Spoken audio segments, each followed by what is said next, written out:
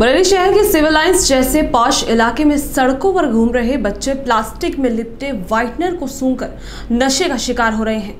ये बच्चे नशे का शौक पूरा करने के लिए चोरी चकारी करने से भी नहीं चूकते। पकड़े जाने पर ये माफ़ी मांगकर या मामूली पिटाई के बाद फिर से अपनी गतिविधियों में मस्त हो जाते हैं। ये बच्चे सड़कों पर भीख मांगकर नशे का सामान खरीदते हैं। सड़क पर घूमने वाले इन बच्चों को नशे की आदत पड़ गई है।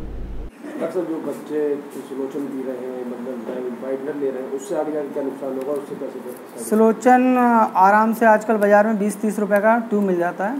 सिलोचन को आदमी चाट के ब्रेड के साथ लगा के इस्तेमाल करता है। सिलोचन से जो कम उम्र के बच्चे हैं, उनमें सांस का खतरा, दिल का खतरा बढ़ जाता है।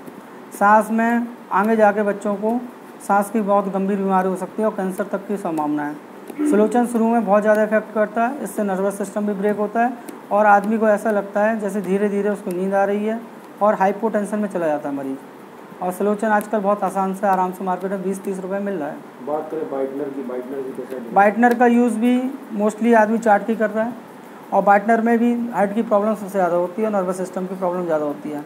जब आप इनका बाइटनर का यूज़ करने के बाद आप देखेंगे कि बच्चों में भूख लगना कम हो जाती है शरीर का तापमान कम हो जाता है और शरीर की मांसपेशियाँ सिकुड़ जाती हैं।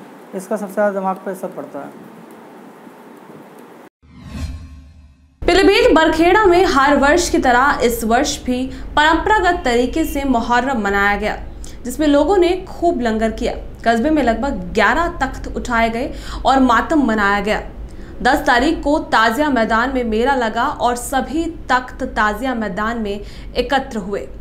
ताजियों की जियारत करने के लिए काफ़ी संख्या में कस्बे व आसपास के गाँव से ग्रामीण पहुँचे और उसके बाद शाम को सभी ताजियादार अपनी अपनी जियारत देकर करवला पहुँचे।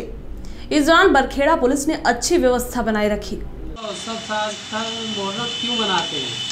मुहर्रम हमारा एक गम का त्यौहार है हम लोग लेकिन परंपरा चली आ रही है इसीलिए ढोल ढमाके नहीं बजना चाहिए हमारे मौलाना लोग भी मना करते हैं और बहुत बढ़िया तरीके से हमारा मेला संपन्न हुआ है। ठीक है सभी समुदाय के लोगों ने हमारा साथ दिया है सभी हमारा बोर्ड उपस्थित था मेले में भी गए सभी का हम तहे दिल से धन्यवाद करते हैं। जालौन के कालपी यमुना पुल की सड़क पर राहगीरों ने खून से लथपथ युवक को कालपी सामुदायिक स्वास्थ्य केंद्र में भर्ती कराया, जहाँ पर डॉक्टरों ने उसे मृत घोषित कर दिया। मृतक की शिनाख्त अलविल निवासी हरिगंज कालपी के रूप में हुई है। मृतक के परिवार के सदस्यों से मिली जानकारी के अनुसार, जब परिजन ने कालपी पुलिस को पुत्र की हत्या की आशंका जताई तो कालपी पुलिस ने मामला भोगनीपुर की सीमा का होना बताया। परिजनों ने जब भोगनीपुर पुलिस को मामले की जानकारी दी तो भोगनी पुलिस ने भी अपना पल्ला झाड़ लिया और मामला कालपी की सीमा का बताया। और लोग मौजूद थे। मैं मैं वहाँ जब मुझे न्यूज़ मिली, मुझे खबर मिली कि नहीं, ऐसे ऐसे तुम्हारे भाई का एक्सीडेंट हो गया, वहाँ पे जाके देखो। हम लोग यहाँ से पहुँचे तो वहाँ पे देख रहे हैं कि पुलिस तो बहुत सारी खड़ी थी पब्लिक भी थोड़ी बहुत खड़ी थी। पब्लिक भी खड़ी थी, किसी ने कोई सपोर्ट नहीं, कोई ना देखा भाली। मेरा फ़र्ज़ बनता था, मेरा भाई था। मैंने उसको देखा, तुरंत उठाया और हम लोग लेके हॉस्पिटल के लिए भागे। भागे तो पुलिस वहाँ देखती रहेगी, पुलिस वालों ने हमसे ये भी कहा है, ठीक है, ले जाओ। पीछे से आए भी है, लेकिन आप ना तो हॉस्पिटल आए हैं ना ही थाने आए हैं, ना ही उन्होंने कोई जवाब दिया। मैं देख रहा हूँ, खबर भी पहुंचाई कि भाई आओ आओ आओ वेट कर रहे हैं। लोगों ने लोगों ने मुझे आश्वासन आश्वासन दिया कि नहीं, वो आ रहे हैं, आ रहे हैं। वेट करते करते इतना टाइम हो गया, इतना टाइम हद से ज़्यादा। फिर मैंने खुद स्पेशली नंबर लिया भोगनीपुर इंस्पेक्टर का। उनसे मैंने बात की तो वो कहते हैं, आप मिट्टी को वहाँ से क्यों ले गए? दिखाने कालपी क्यों ले गए?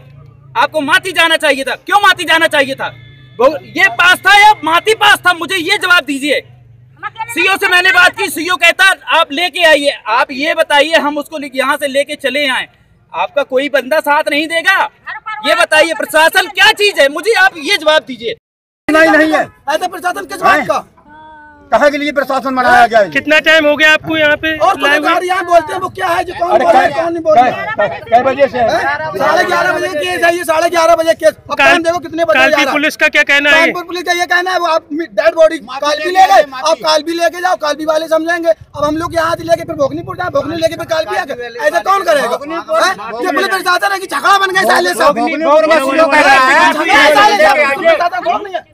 ऐसे कहीं होता है हाँ, क्या मंगा रहा है। मोगनीपुर का सीओ कह रहा है? कहेंगे ले जाए कैसे होगा? आप लोग क्या करना चाहेंगे? यहाँ पे जाम लगा हम लोग चाहते आपका क्या क्या होना चाहिए? कैसे क्या हुआ? सही का सही दूध का दूध होगा, पानी पानी होना चाहिए। साहब को बुलाओ यहाँ। होगा ना होगा कोर्ट मास्टर होगा यहाँ बुलाइए सीओ से मैंने फ़ोन में नगर दातागंज में गणेश उत्सव बड़े ही धूमधाम से मनाया जा रहा है, जिसमें सैकड़ों गणेश भक्त पूजा अर्चना कर रहे हैं, जो गणपति बप्पा का आशीर्वाद प्राप्त कर जोरों शोरों से गणपति बप्पा मौर्य के जयकारे लगा रहे हैं। तो वहीं गणेश भक्त सुरजीत वर्मा ने बताया कि ये प्रोग्राम काफ़ी दिनों से चल रहा है, जिसमें गणेश भक्तजनों की आए दिन संख्या बढ़ती जा रही है।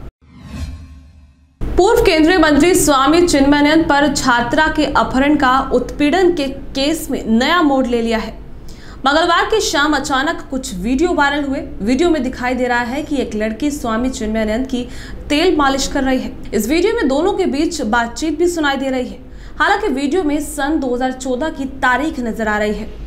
वहीं वीडियो वायरल होने के बाद आरोपी के वकील ने मीडिया से बात करते हुए स्वामी चिन्मयानंद को बदनाम करने की साजिश करार किया है। उनका कहना है कि एसआईटी की टीम पर उनको पूरा भरोसा है। आज एसआईटी की टीम मेडिकल कॉलेज में पीड़िता का मेडिकल कराने पहुँची।